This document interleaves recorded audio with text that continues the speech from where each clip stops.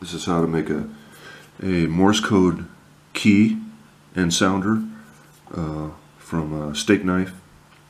And first thing I did was just cut a block of wood. This is a, a cutting board uh, that I used and it's got some it's filler wood in it so it's not perfect but you can find you can get some nice wood and make a, a nice base and uh, cut little two little blocks and glued them on to the base.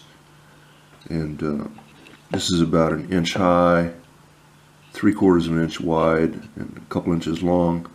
And you need a binder clip and you want to cut this one just so it fits right inside the binder clip like that. Perfect fit.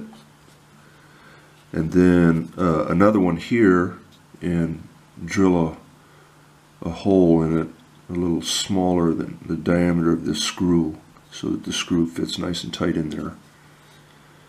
And uh, inside these blocks I, I drilled a hole and put a dowel and then just use wood glue and glue them to the base.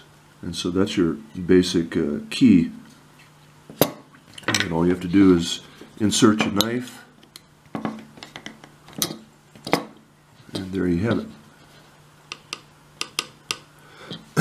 you need four uh, neodymium magnets and for the sounder I use my multi-tester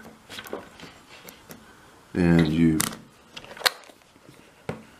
put the tester onto your uh, resistance tester or ohms, testing for ohms, and you get a nice little tone. And then take uh, two of the magnets. take two of the magnets and slide them apart and uh, put the uh, probe between the two magnets. The probes are not magnetic, so you have to put them between two magnets. And so on one side, you, you, attach this uh, to the knife, like that.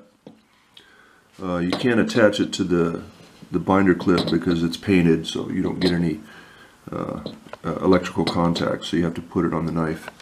And then uh, slide your other two magnets apart put the probe between it and then put this one on the screw like that. Turn your multi-tester on and you get a nice tone.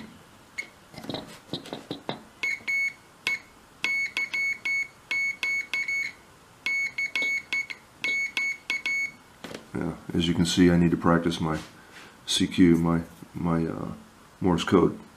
Anyway, Takes you just a few minutes to build this and uh, the sounder is nice, you got a nice tone and a uh, very easy way to build a little uh, keyer to practice your Morse code.